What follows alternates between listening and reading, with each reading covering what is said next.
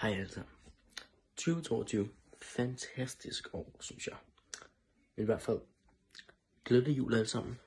Øh, jeg tror, det her det er til videotosken. Philip sagde at jeg skulle lave en video, så ja. Jeg ved ikke helt. Nå, øh, glædelig jul alle sammen. Håber, jeg ved ikke, om vi også laver noget sådan nytår. Det finder vi lige ud af.